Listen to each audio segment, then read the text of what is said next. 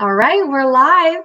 So welcome. If you're um, new here, my name is Monica of Milly and Monica, and I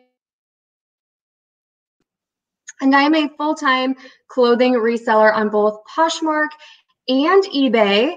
So if you've been around here for a while, you know that I particularly love selling vintage clothing. And I usually um, are mixing vintage clothing in a lot of my thrift hauls that I share here on YouTube.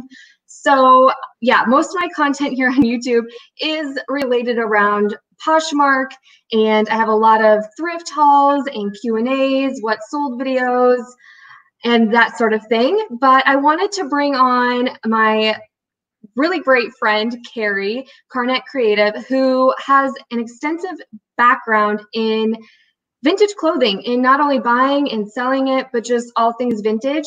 So she's here with me today, and we're going to talk about what is vintage, how to identify it so that you're able to go about selling it online. Um, so I'm going to, in a moment, have her kind of introduce herself and talk a little bit about her background. So before we do all that, I want to make sure that if you haven't yet subscribed, that you go ahead and do so. Subscribe to my channel, but also open up a new tab, go to Kari's channel at Karnet Creative and subscribe to her because she is starting a new channel and she has so much amazing content to share and I don't want you to miss any of it. So make sure you do that. And of course, hit that thumbs up because that really helps us out here on YouTube. All right, Kari, I'll let you take it away. Tell us a little bit about yourself. Hi, everyone. As Monica said, my name is Kari. I go by Karnet Creative on Instagram and then on all selling platforms Poshmark, I sell on eBay, I sell on Etsy. I go as Karnet Vintage.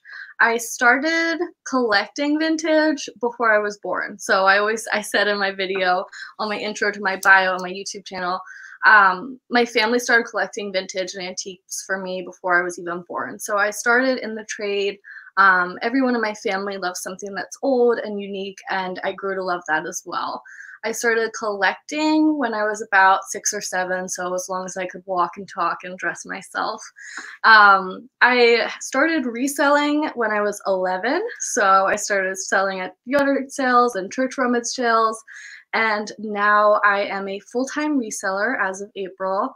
I sold at uh, vintage shops all over Philly and New York for the past four years, and then I managed and worked at a vintage boutique and showroom in my hometown through high school to um, a year after I left college. So I went to school for fashion design. I was there for about a year at Parsons in New York City, and it wasn't the right fit for me.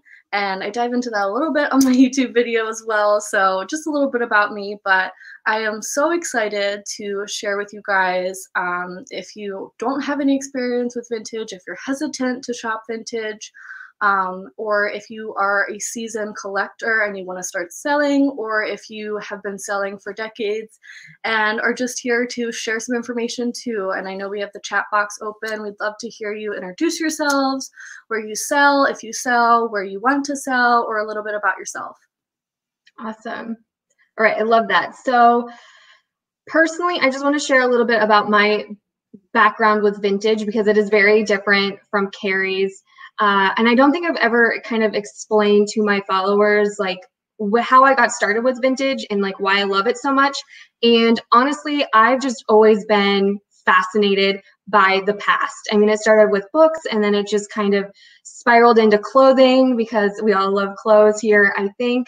But when it really like something was spurred with me is I started going through all my grandma's photo books, like her old photo books. And she was so good about dating all the photos. Like she'd put the date below the photos. And I would just study what they were wearing. So my grandparents had big families, like 12 kids, lots of girls, and I would study what all the girls were wearing in all these photos. And I mean, I would see it change from the, you know, 50s, 60s, 70s into the 80s. And I was like, wow, this is just fascinating. So I was just always fascinated with that. And actually, I, I give my grandma so much credit because not only uh, was I inspired by her photo albums, but she was really into photography and like sewing and you know all of this stuff. So a lot of my creativeness comes from her and my mom. So not only was I studying their photo albums growing up, I was also like going through patterns and looking at the dates and really getting to see like I don't know where here we can kind of see them.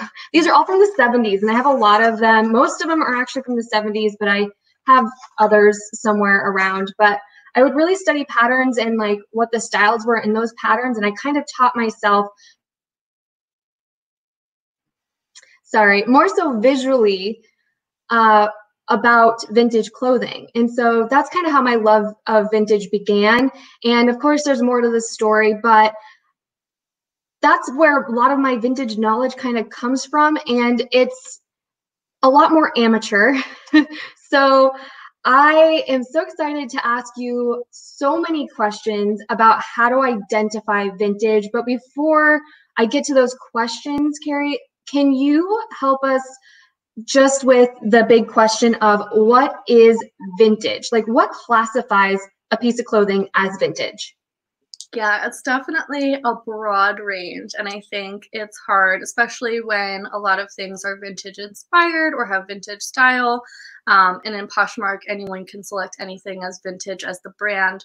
But vintage is identified as something that dates to 20 years or older past the current uh, year that we're in. So because we're in 2020, anything from the 2000s is considered vintage and back. So generally the cutoff for antique, which is often interchanged with vintage, and sometimes it's hard to identify either, but anything that's antique is going to be a hundred years or older to the prior decade we're in. So 40s is technically vint, uh, vintage right now and not antique, but it gets a little bit messy in between there. But generally, that's the guideline of what the broad vintage community and the Webster Dictionary defines vintage as. Perfect. Thank you so much for kind of defining that for us. Okay, so next, like, let's dive into tips for actually identifying vintage. And, you know, I talked a little bit about kind of creating my visual study guide. And with that, like, collecting vintage magazines from thrift stores. Um, you know, there's so much out there on YouTube, like we're on YouTube now. There's so many ways you can kind of get visual information. But when it comes to actually looking at the clothing pieces, uh, let's kind of get into specifics there. Like, what are things we can look for on actual items? Yeah, yeah, I'll grab an example. Um, so here we have a top and somebody might see this and be like, oh my God, that's so ugly. Or somebody be like, oh my God, my aunt has that same shirt. But what makes this different? This is a very classic equestrian motif. And this could be made in like, I think it was really common in the Etruscan era. Um, and that was something that was very adaptive, especially in Hermes uses this pattern a lot. But what makes this blouse vintage. Our first step is to see if the item has a label. So this label, you can get close to it, you can see that the fonts are different. So a lot of times um, on newer labels, you'll see that the font is consistent, but this one is different. It may, is made of a um, cotton label, which usually they're poly or made of recycled materials now. And it does actually have a size tag, which is pretty rare for the era. And then it says Paris and made in France. So, first of all, you're like, oh, that's expensive. It's made in Paris. But because of the different fonts and the label material, you're able to automatically ring a bell. This is vintage. Perfect. And like if someone's not really familiar with vintage labels, where is a good place for people to look? Yes, our holy grail. There is not one person I've met in the vintage community, old or young, experience or none, that has disregarded or not mentioned the Vintage Fashion Guild. It is an online forum of incredible historians, sellers, um, vintage connoisseurs, collectors, historians that archive everything from labels to fabric to notions to um, how to wear a hat, what hats they have in their archive, what hats they're selling. Um, and it really highlights everything that you would possibly need to know. And it's an incredibly valid resource for anything vintage. Yes, I definitely love that site and have definitely been looking up labels for a long time there. what if do you ever come across like a label that you just can't find on there? What does that mean? Yeah, a lot of times labels are there's multiple labels on a garment if it's a higher end piece. So you'll have your main label here and sometimes the label will be, and I think I have a dress that has a label. Um, a lot of times they'll be in the inside of the hem on the lining. So it'll be on the stitch line here. Or in this case, the dress, the label is in the bodice. So a lot of times the main designer will be on the bodice, it'll be in the hemline, but on the top, it will have like a department store label. And the department store labels are generally hard to track down. Um, the Guild is probably the best place to find that, but there was so many department stores. It's basically like a chain of Target now. Um, so they're pretty hard to find. A lot of them went in and out of business, and a lot of them were like the um, John Wanamaker in Philadelphia stood the test of time for decades, if not 100 years. So generally, the department store label will be on the top.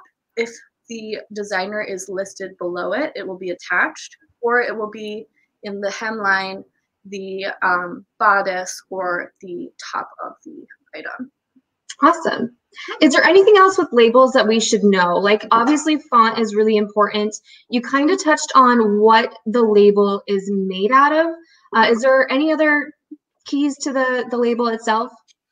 Um, it definitely can tell a lot about the item. It can tell about the condition.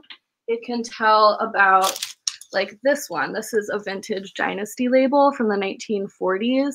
You see that this has like a natural patina to it. It's weathered, it has some wear, um, and it's all like woven in a lot of times screen printed labels or um, labels that have contrasting stitching that are black and white are more than often newer where this one has like a soft gray so that one's a good one to tell sometimes you'll have labels like this that is shredded and you can't tell mm-hmm. what it is. Um, but this is also a great indicator. This is a cotton label. So you'll be able to tell that this is vintage. This is something that stands out as has been worn and loved and potentially is a couple decades old. My last example, this is an Indian dress from the 1970s. It just has a number on it. So generally, unless it's a sample, these pieces that might have just like a simple number, sometimes it's just like a size on it. That one as well. This one's a pair of Asian brocade pants from the 40s. And this one just has a simple 14 for the size. There's no other markings on this. It was part of a set, but that's the only identifying factor on that. I love it. This is all great. I love that you have examples of so many things. Now here's the tricky question. What if an item you're pretty sure is vintage, but it has no tags, like nothing? Yeah. What do we do then? So we launch a full-on investigation. Um, so once we have no label, our best identifying factor is the silhouette. So a lot of times it is confusing, and a lot of times by decade, the silhouette um, is adapted. So a lot of times 1940s and 1920s items are used in 1980s pieces. So the drop waist, the shoulder straps, the um, unique fit and flare waistline from the 1950s might be put in a modern dress. But once you kind of have a vintage silhouette down, another great way is the stitching. So you'll see in this pants that they are machine stitched, but they're actually pretty far apart. I'm like, I'll get a little closer. Can you guys see? Um, but you see that the stitches are a little bit larger. This shows that it was a, a machine that was cranked by hand. Um, you'll also see that the edges aren't finished. So a serger did not exist in this time or it was not present. But this is an industry garment, so it wasn't made by a home. So a lot of times if it doesn't have a serge, it's uh, it might be a homemade garment, but in this case, it was not, it was a little too early for that. Another great telling sign, this one has no zipper on it. So closures are a huge, huge telling sign of the era of the garment. This one is just a simple celluloid button, which we'll come back to. And there are a few snaps. So in the 1940s, the metal zipper started coming about. So this is like very early 40s. So you'll see a metal zipper, first of all, is great for 1960s and older, which I'll have a 1960s shift dress here. So this one you'll see has a metal zipper, which I'm like getting close enough. And you'll see that the teeth, that's cold to the touch. There is no shiny plastic in sight, and it is a cotton um, sides on this one. So anything with a metal zipper usually correlates from the 1940s to the 1960s. So that is definitely vintage. Nailed down a little bit closer to what the decade would be for that. I hope everyone is taking notes right now. Like I know, like personally, I'm going to be replaying this back and like writing down all these tips and all these things because it's just so much great information. I feel like I'm on the home shopping channel, so this is like my ultimate dream. I wanted to work on QVC for the longest time, so. Oh, that's awesome. Okay, I'm gonna zoom this out. There we go. Perfect. Yes, I have a whole situation here, but so you have metal zippers. Um, this one is when the plastic zipper started coming about. This is a plastic zipper. I don't even know if this is really helping, but I'm going to still you know try. It might be better to do this closer one because we can um, see the details better. So you'll see that the, generally the zipper teeth are a little bit more translucent. It usually has a synthetic blend to the sides of the zipper.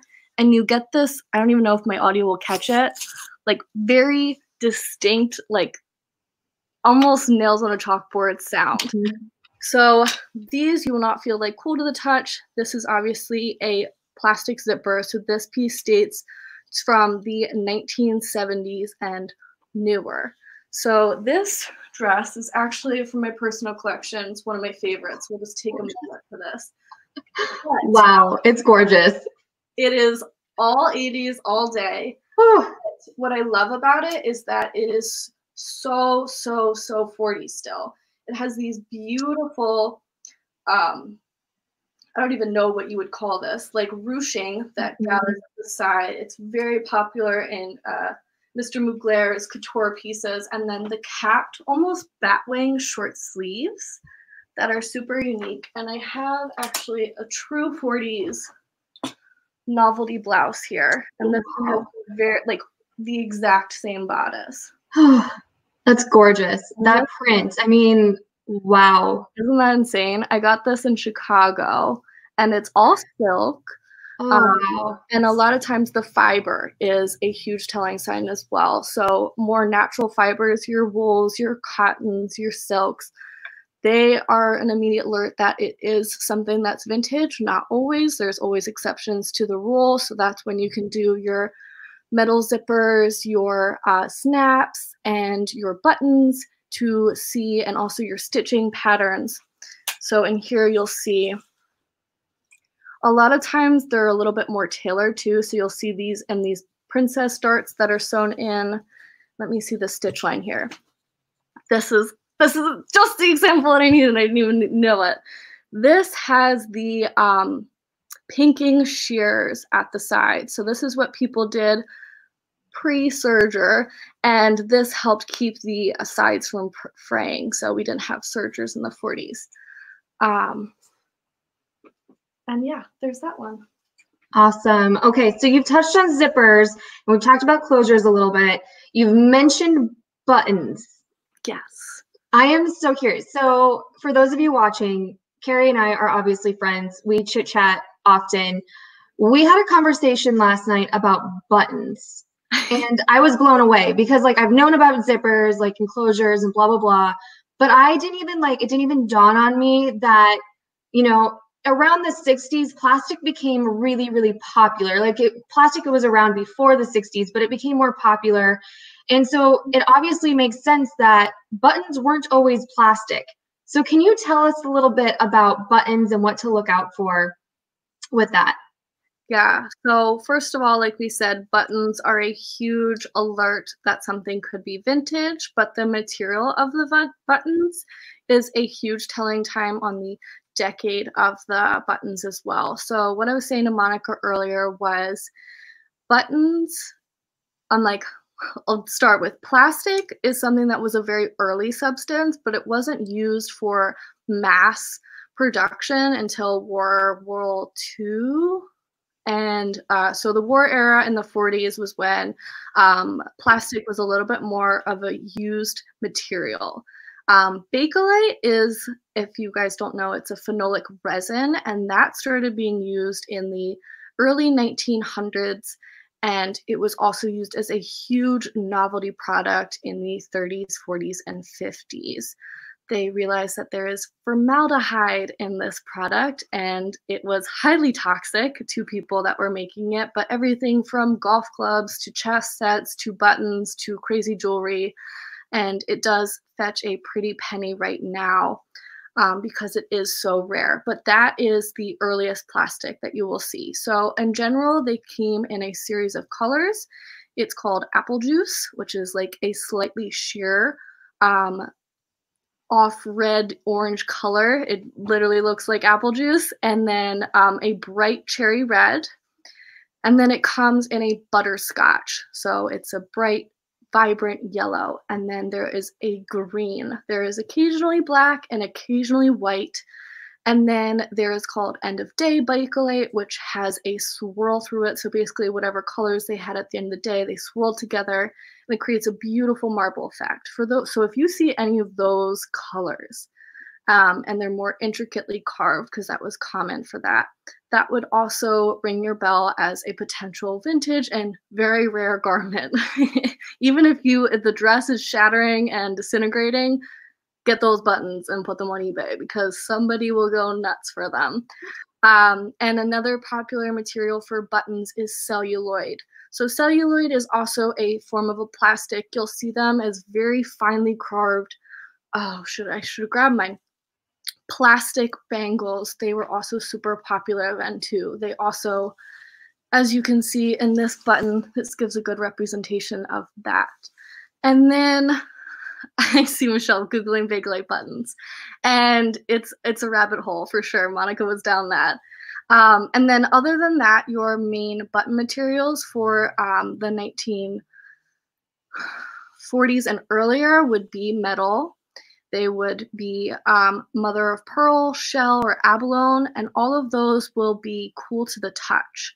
So those are a great uh, way if you're not immediately recognizing these materials that you'll be able to see. They'll have the mother of pearl, the celluloid, and abalone will have a little bit of a sheen to them. I have a pair of early 1900s. These are men's riding droppers, but my personal favorite linen pants. So I have an array of buttons on here. Oh, I think, okay, here, this one. This one has a sheen. As you see, it catches the light. This is a mother of pearl button. So this is very common on a garment. Now up here, this was a replacement button. This is very clearly plastic. It has the ridge on it, which mother of pearl buttons or abalone will not have that ridge because obviously the shell breaks in sheets and we have more plastic buttons. This one's a little bit of a unique one. This one has some, let's see if I can get it, ridges and details on that as well. So this one's a little bit of an earlier button. This one's 1950s. Awesome. Well, thank you so much for that information. Now you've you've also talked about hems a little bit. Uh, is there anything else we need to know about like the hems of of items? Yeah, um, I mean this one, like this is the serging that I was talking about before. If you need like a visual, um, generally with vintage, a lot of them will have a um, a blind hem. I almost lost it. And um, that's just to be super, super, you just like a pick stitch at the end. And that was very common because most pieces were tailored or custom made um, in those eras as well. I'm trying to think of what else I was, I think that was it for that.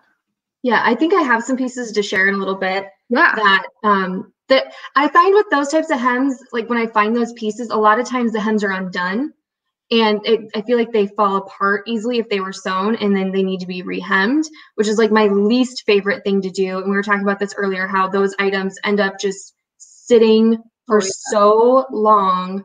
Oh my goodness. But that's a whole nother thing to talk about. So, uh, do you want to talk a little bit more about fabric? Because I know, like in the 70s or 60s, 70s, we see a bit of change in what type of materials are being used. So how does that help us date items? Yes. Um, so I had mentioned earlier your um, natural fibers are a huge telling t- sign. Um, but let me see. I have some like poly 70s. So elastane was popularly popu I can't talk today. Um, so elastic was invented in the 1820s, which was used for gloves and suspenders and all that fun stuff. But elastane was invented early 1930s and it became really popular in the came very popular in underwear first obviously and then by the 60s early 70s it was made into a spandex or lycra um, and it gives this like bounce back effect to the fabric which was a game changer for people. These poly dresses are amazing. They're washer dryer friendly. They're you can put steam on them. You can iron them. Um, they really have you can stain treat them very easily. They have a lot of a great bounce back quality, but they're also obviously a synthetic fiber. So this usually comes in really bold prints like this butterfly or this one's a Vanity Fair robe. And it was really great because they show color very, very boldly and they stand the test of time very well. Um, but that's also a really good telling sign. I know a lot of times um, like 70s pieces and 80s pieces will be easily confused for 1930s and 1940s. These fabrics just simply did not exist in that era, so that can be an ease easily checking off that that is not a possibility for those pieces. Um, and I think Foxborough. Oh, Shop Foxborough. She had some good questions too. We can revisit if you want to jump back to those at some point. Well, and she mentioned too. I think this is important. Um, oftentimes, buyers will want to know the hem allowance, which is so true because maybe it's too short for someone, and then they can lengthen it um, and that's that's always nice. And sometimes if someone's really petite maybe they have you know taken that hem up quite a bit. Yeah the hem allowance or seam allowance is uh, very good for most vintage sellers to mention in the description in this dress. I'm like i can't pull it. There we go.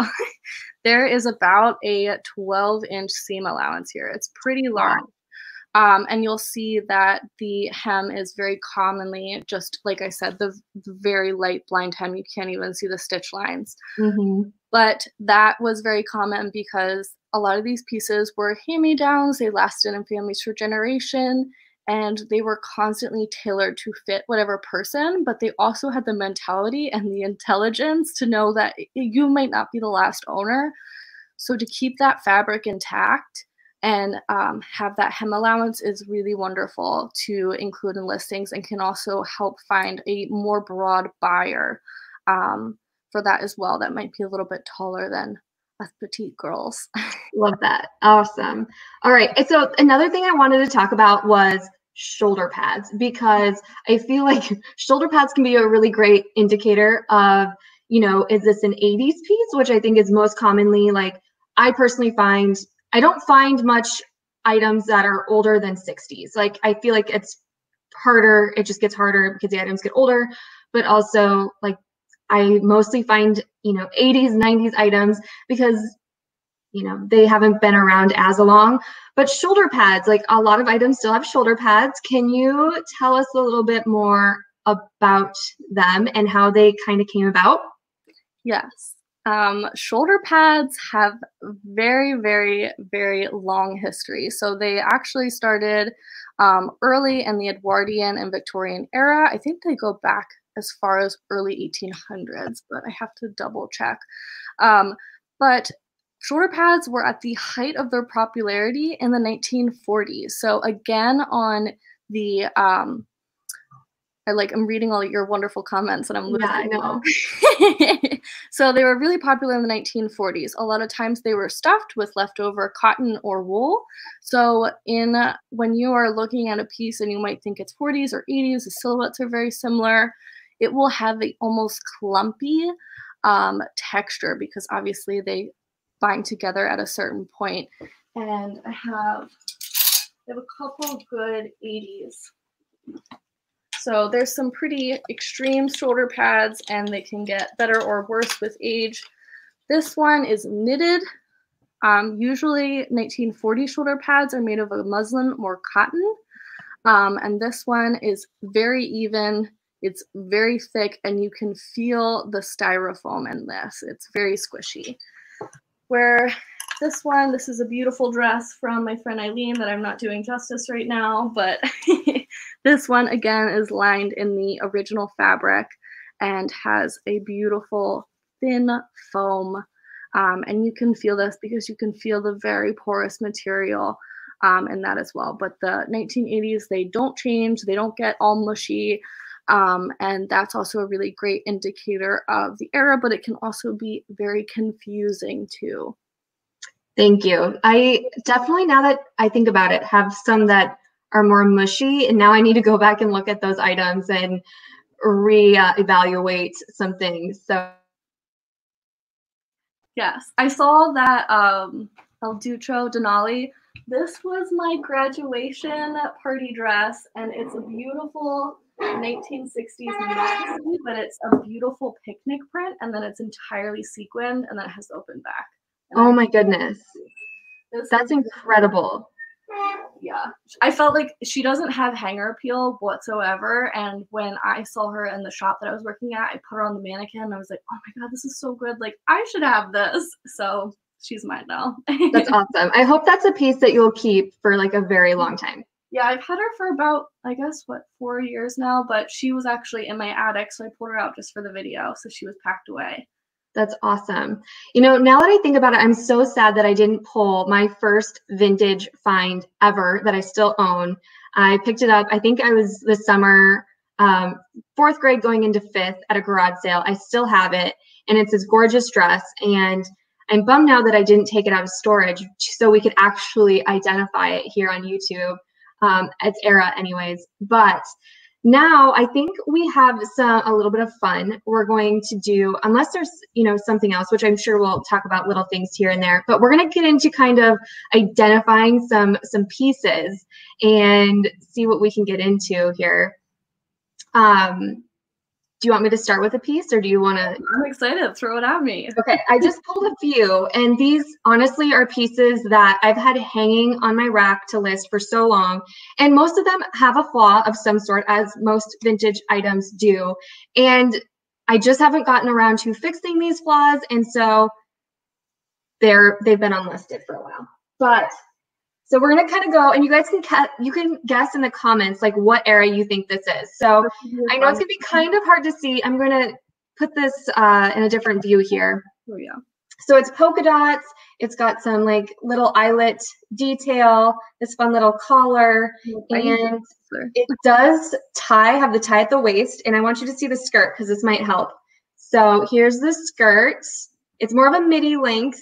And then I want to show you the label and the zipper because of course, based on what you've all just learned, this might be important or should be important.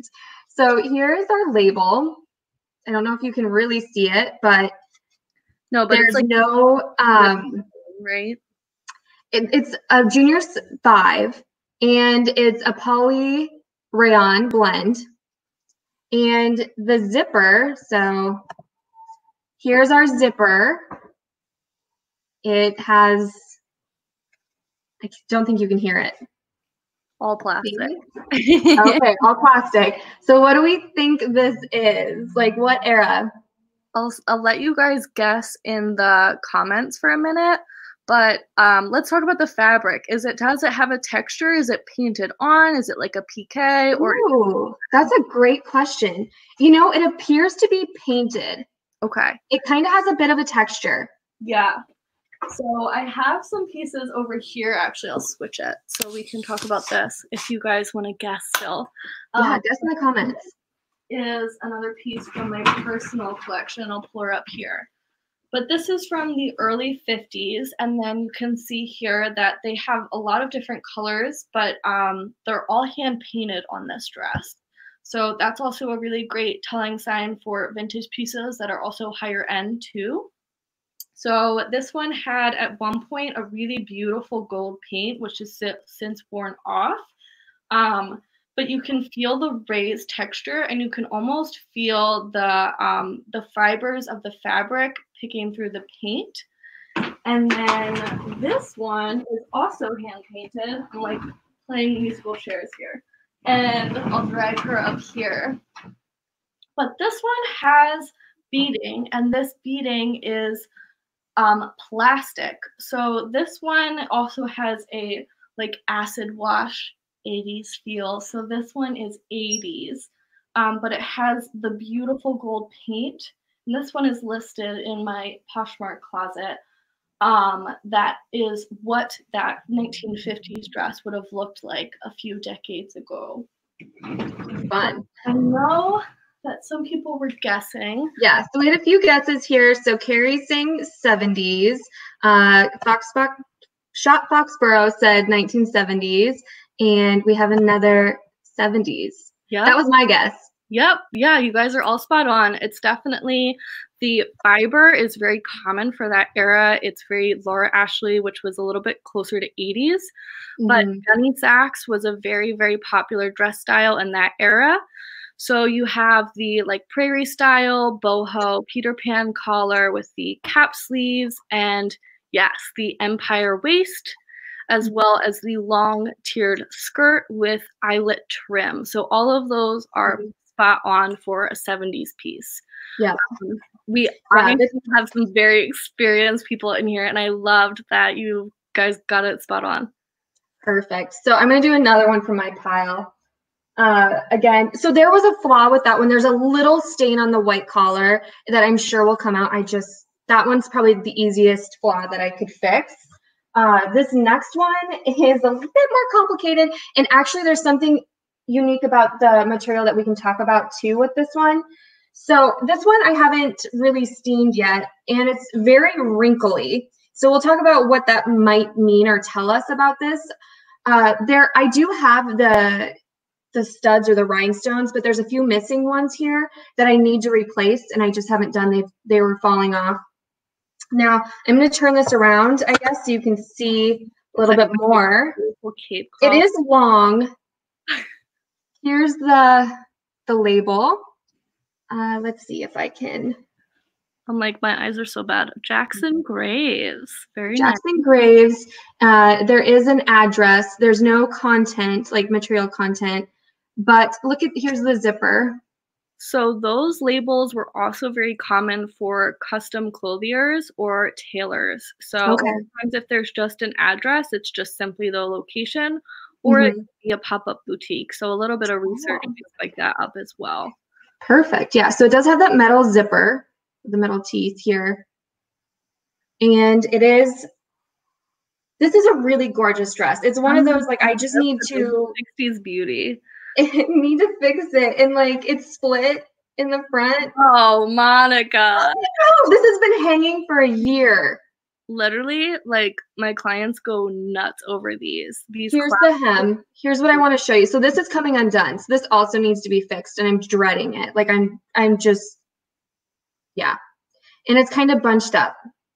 So the hem tape will be that's a pretty common condition for that. So if you want to zoom in and we can show everyone, the um, hem tape on that is a rayon blend, so that's why it has that sheen. But generally, with the wash and wear, um, even the best dry cleaner, that will sometimes happen.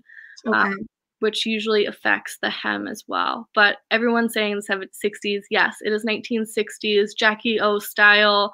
Um, it looks very Princess Diana though. Um, I feel like anything that's like a pale blue, I'm like Princess Diana, but obviously not on the right time period. The beautiful beaded collar, most of those look like they would be glass beads, which also add to the value. You can tell because they're much heavier as well, which is the same um, aspect for buttons. Um, and the usually in the back of those, they have a beautiful, like this one's a chiffon, has a beautiful cape in the back, which is Oh, yeah. that as well. You'll also see like a shawl collar in the back as well, and then it can also be brought to the front. And yes, it's a hostess dress. That's very Yeah. nice. Yeah, it's gorgeous. I this I know this video is not doing this justice. I just really need I know. I can't wait for you to model this. it's gorgeous and it's heavy, like you said. Like this collar, I mean, it's it's heavy. I mean, Yeah. to wear it would be heavy. Job. the material itself. Now, is there anything that we should know about like the? It, this is pretty wrinkled. Uh, is this common of the fabric? Yeah, so another great tech tip and like way to identify is the wrinkle technique, which sounds kind of crazy, but the silk chiffon and chiffon or even visco chiffon will wrinkle very differently. So the silk chiffon has a very fine wrinkle pattern. Um, even if it's packed in a dust cover or a dust bag or a garment bag, um, it will wrinkle in a very fine and it will wrinkle very, very easy. That's why it's not suggested for travel. That's why Hollywood stars rent uh, party buses instead of limos when they're going to the Golden Globes in chiffon because they cannot sit down and it will show any crease. Oh, that's fun. Yes, and that's why with the elastane and poly dresses, they were also super popular because they very, very rarely show wrinkles. They travel very well, and you can steam and iron them very easily. Oh, fun. Okay, so I have one more, and this one's really been throwing me for a while. And I think I know, but I don't want to miss categorize it, I guess, or uh, it is wool. It does have some flaws, which again, so here's the label. If you can kind of see it, You're frozen for a second. sorry. It, here's the label. If it's the label, I think it is. This is uh very. It's R and K. I can't tell. It's still from a distance. It is. Yeah. Yeah, I love this label. So this was a really popular American brand. They also are very similar similar to Kimberly Knits. Um, if you guys know them too, they have a really beautiful tweeds, houndstooths, blue clays. Um, a lot of times they're very popular in the 1940s and 50s era. Um, but yeah, show off this beauty. I love this. Okay, so here's something that I don't know. The buttons, so there's buttons on the back. These feel like plastic to me Mhm. based on, you know, what we've chatted about. They definitely feel like plastic. Uh, it does have a snap here at the bust, but, and then there's a zipper. Okay, I'm gonna have to zoom this out so we can try to get a better look at it. I'll So- like switch this. You don't see my ugly steamer. There we go. I'm trying like this is so hard.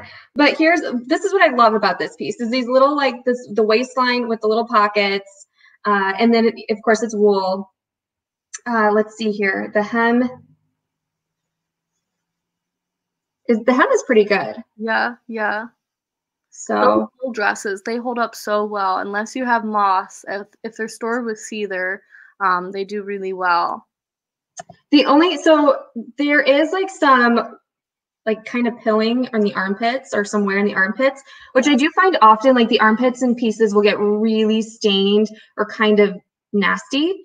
Uh, so that you know it's not terrible on this piece by any means. That's the sleeve. But yeah, this is the piece that I'm kind of struggling with. Uh, based on our conversation, I I still am unsure of this piece and how to date this one. Yeah. So Foxborough, I love all your knowledge you're dropping here. Yes, R&K made dresses for a very long time. Um, but this dress, the it actually buttons in the front. So this was really popular in the 1940s era. And this one has a metal zipper, right? So that's the thing. So I I originally I've always thought that this was a 40s piece, but I just am so uncertain that I and I just don't have much much experience. I think it is. If you look at this, yeah, I mean it's Yeah, I would date that one as a 1940s. I have a very similar um, front on this one. So this one has um, plastic buttons as well. And then they button down and then I must have been thinking, oh wait, yes. So it actually is buttons all the way down. There's no zipper on this one. So it might be a little bit earlier, but then you have your snap. Um, and the covered snaps were a very um, that is if the label's cut out covered snaps are generally a boutique or department store designer brand um, or house. Um, so that's also a great telling sign of luxury as well. But yes it's very confusing especially when i had clients trying on the dresses. They very commonly would put the buttons in the back. Um, but a good telling sign is where the darts are sewn. And sometimes they're sewn so impeccably on the front and the back. But generally, in the back, you'll have two that go straight down, and those are called your princess darts. I don't know if that one has it. Like here. Does mine? Mine has like they're like panels almost. Yeah. Yes. So you'll see that towards the waistline, there's a straight line. So that's going to be your princess darts. Those were really common in tailoring in the 1940s and 50s. Okay. Um, and since it has a, a, a, closer to, it's not like it's at your natural waist, not your like um, exaggerated waist, which would be closer to the 1950s. And then the, your front, you would have your bust dart. So those are going to be set higher up and they're going to have a curve, obviously, to accentuate your bust. Um, so that's also a good way if you're in a vintage shop and don't want to ask anyone. That's also a great way to tell if it's front or back. But so yeah, the waistline's a little like yeah, that gathered there. So you'll see that there's room for the bust. Interesting. So are you you're thinking 40s for this piece? Yeah, I would say 40s for that one. That's what I was originally thinking, but I was just so nervous. Like I didn't want to misclassify it or guess mislabel it. That's the biggest takeaway. You know, at the end of the day, I am not as much as I would love to be a certified fashion historian. Um, and this is what I live and breathe doing, but I also am very immune to making mistakes. There is always an exception to the rule and there's always something to learn. So I think that's the most important thing. Like you have a huge community either on the guild, on Wiki, or on the Poshmark community. And I know that Monica and I can both say, if you ever have any questions, we can always do like a Q&A video and have you send in pieces or DM us. Um, and we'll do what we can to help answer your questions too. But I think that's just like a good overarching thing to touch on. You know, I'm like, yeah. I am human and I want to know all the answers. But at the end of the day, we're all learning. And I think that's really important too. Yeah, definitely. Because there's always going to be that exception that will like throw you off based on what you know and make you like second guess yourself or you know so many of those pieces like we've already touched about touched on you know were inspired by other eras and so it can get confusing so yeah uh, is there any like burning questions, like from anyone in the comments. Uh, is there anything that you want us to talk about, touch on? Because we're probably going to wrap this up pretty soon. I know something that I do want to ask Kari though before we kind of wrap this up is, you know, we've talked about the Vintage Fashion Guild as a resource. Is there any other resources you would recommend for people who are looking to learn more? Like, what would you recommend? Yes. So obviously, when you go to a thrift store or sometimes um, even vintage stores, there might be a lot of modern pieces mixed in. But generally, your local vintage store, if you don't have a local vintage store, flea markets are a great place. Um, and then there's also some major vintage expos on the east and west coast that are included. Current Affair does one in Brooklyn and LA. Um, the Manhattan Vintage Show or the Vintage Show does one in um, East Village, Manhattan. And then um, there is um, Brooklyn Flea. And then I, what was the other one? Artists & Fleas and uh, Premiere Vision, which is focused as a print show. So a lot of times it's a very discounted mm-hmm. ticket if you sign up online, and mm-hmm. that way you can um, go. And a lot of the times the dealers have the card on the piece that dates to the 50s. A lot of them separate them based on their decades. Um, so that way you can kind of quiz yourself and see, like, okay, what am I noticing here? Oh, this is uh, a fit and flare hemline, has a serge, and they're plastic buttons. This one's probably in the 1950s, 60s era. And you flip the card, you probably have your answer. And that's a great way to open dialogue with the dealers if they're willing to chat, if you're willing to have any questions. Sometimes they are, they're not busy, they're happy to talk about it. They're obviously very interested in it. That is a great way. Um, and Instagram accounts, there's some really, really amazing Instagram accounts in the uh, community. Um, some of my favorites are History a la Mode, AMT Vintage, which is located in New Jersey um, Butchwax Vintage, which I know she has a cult following. Another great one is Fox Historic Costume. Any um, costume or um, historical restoration accounts are really, really, really like I can't stress it enough. Have so much knowledge and constantly each post dump uh, something new and something incredible to learn. Iris Apfel is one of my favorite vintage collectors. She is incredibly so so cute. I love her so much, and she has incredible collection. And the last one is Timothy Long Fashion Curator, and he's on Instagram, and he has a pretty incredible collection. I forget who he curates for, but there is so much knowledge. Oh, and the Vintage Voyager. And they are on Amazon Prime. And she goes to vintage stores all over the United States and does exposés and autobiographies and biographies on all these wonderful vintage sellers and their collection and if they have a storefront.